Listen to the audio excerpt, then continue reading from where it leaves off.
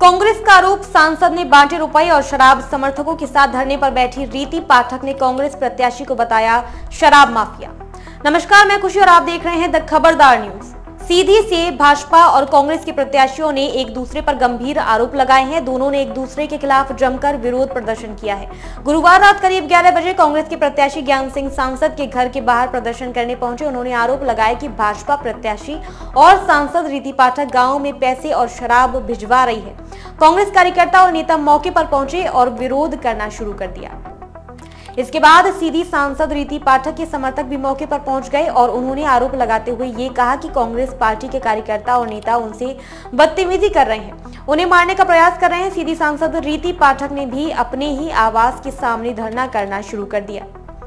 मामले की गंभीरता को देते हुए मौके पर पुलिस प्रशासन की टीम मौके पर पहुँच गई। कांग्रेस प्रत्याशी ज्ञान सिंह शुक्रवार लगभग सुबह करीब चार बजे कोतवाली थाने पहुंचकर शिकायत की। उनका कहना है कि एफआईआर दर्ज नहीं की गई। ज्ञान सिंह ने प्रशासन और चुनाव आयोग पर तीखी प्रक्रिया व्यक्त करते हुए आरोप लगाए।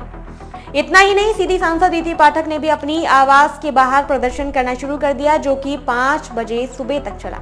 लगातार भाजपा व कांग्रेस ने एक दूसरे के ऊपर आरोप और प्रत्यारोप लगाए रखे हैं।